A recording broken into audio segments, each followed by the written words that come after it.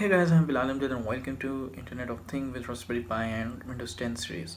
Uh, we have covered already two parts and in the first part we talked about the introduction of Internet of Things and we have talked a lot about IoT.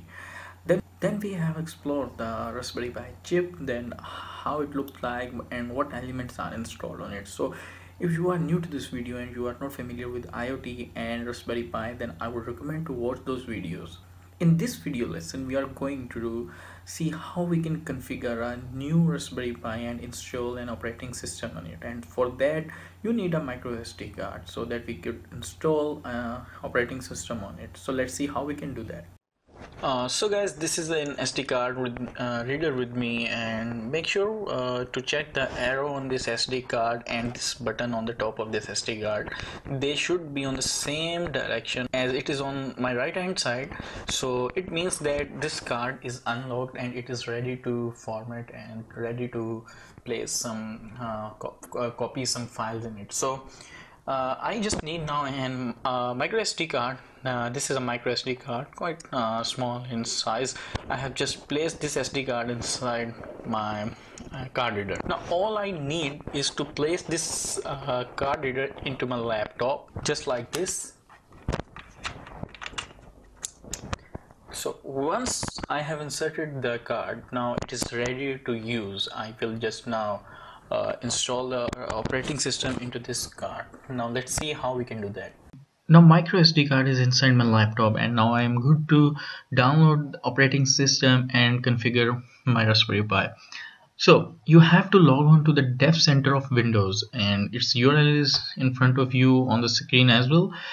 Uh, you have to explore this Windows IoT section. Here you have to just click the get started button so when you will click this, this button then a proper guide will start and it will tell you how you have you are going to configure that. So first of all you have to select your hardware and we are working with raspberry pi 3 so i will select raspberry pi 3 then we have to select our installation media and i'm using uh, micro sd card so i will select the first option here. Then we have to select uh, the version which we need to install on this raspberry pi. So we are going to use windows 10 iot core once you have selected that you have to click the next button. So when you will click the next button you will see a proper guide. Uh, here you have to download and install windows 10 iot core dashboard. Just click the download dashboard button. So just save it in your uh, uh, computer so once it get downloaded you have to install it. I have already installed in my computer and once you will complete your installation you will see the dashboard. So this is how iot dashboard looks like. Uh, you have to select a new device uh, set up a new device option here and you have to select your device type which is raspberry pi 2 and 3 then you have to select operate, uh, operating system build here which is windows 10 iot core then if you haven't already inserted a, memory card inside your computer then option will be displayed here just like in my case uh, it is being displayed here. You can provide any name to your device and your raspberry pi will be called with this name. You can set up a new password after providing the password you have to accept the terms and conditions. Then you have to click download and install button.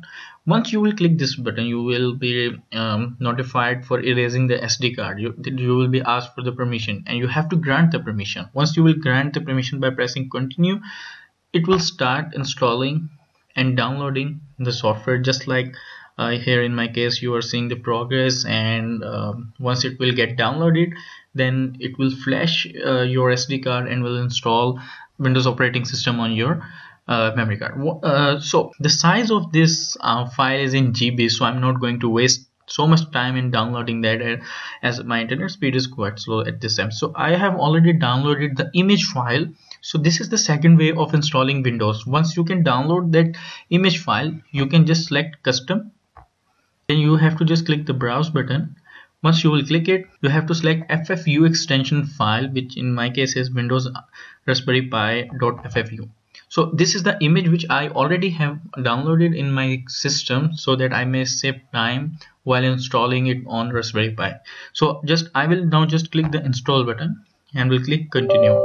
So Windows will ask you for the permission. You have to grant it and you will see that a console application will appear in front of you and it will show you the progress of the image which is being installed on your Raspberry Pi's uh, micro SD card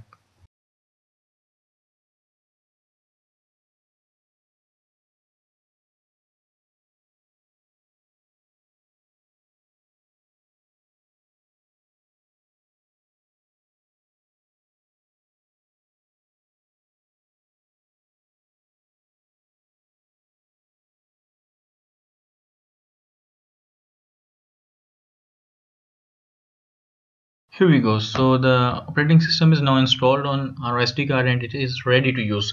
So now just take out your uh, memory card and we have to insert this memory card inside our Raspberry Pi uh, 3 and as I have already uh, told you how we are going to insert our uh, memory card when I was telling you about uh, IoT in our previous video. So this is my Raspberry Pi and I'm going to insert this SD card on the back side of this uh, Raspberry Pi chip.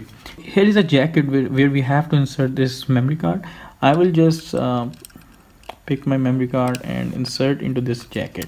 So now all we need is, is to do this uh, that we have to connect uh, power ca cable. We have to provide power to this um, uh, Raspberry Pi so that it may get switched on uh, and for that we just need a USB cable. So guys I have given the power to my uh, Raspberry Pi by uh, inserting one end of USB cable in my laptop and the other end is in the power jacket of this Raspberry Pi. And you can see a light here which tells you that the Raspberry Pi is on. So I need to see the output of this uh, memory card on my screen because if you don't do that uh, then how we are going to know that what Raspberry Pi is doing for you right now? So for that just insert a HDMI cable here we go. I have just connected uh, an HDMI cable with my Raspberry Pi.